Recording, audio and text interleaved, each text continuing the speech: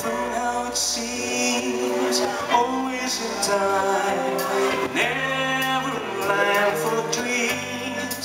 Yet over hills swam toe to toe. This is the sound of the. This is the sound.